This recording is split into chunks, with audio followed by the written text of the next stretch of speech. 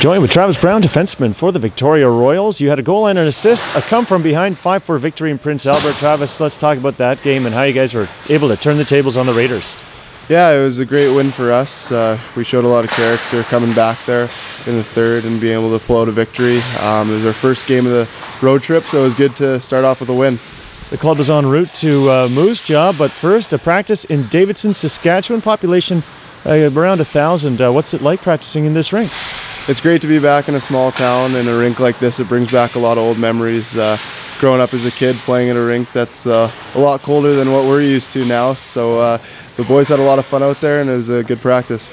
For you, it'll be a homecoming against Moose Jaw Monday at noon. Your former club. What's going to be like walking into the visitors' dressing room? Uh, it'll be a little weird, but uh, I'm excited. It's going to be nice to see a lot of familiar faces. But uh, at the end of the day, we need the two points. Thanks for doing this, Travis. All the best. Thanks a lot.